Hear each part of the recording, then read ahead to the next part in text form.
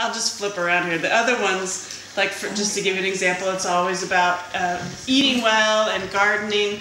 One is, and they make no sense. They literally are like all over the place. Her emails. I'm thinking about a collection of mints and parsleys is a very good idea. We need to grow our own food. You know, we need to have sustenance. I am looking into mullein. Right now, it can be smoked, which I have done.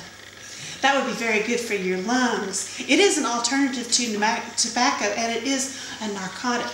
Oh, by the way, I have looked into, I've done research. It is totally legal to grow magic mushrooms for your own consumption.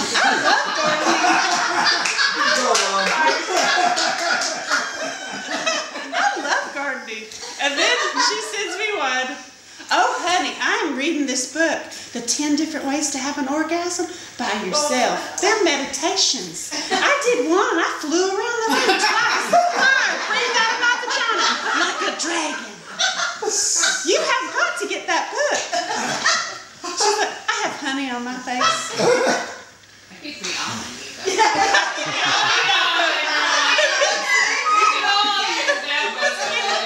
That's why she's like, oh, if you're going to read my emails, I'll bring my if anyone has questions later. Because I'm having the best sex of my life. She's like, here's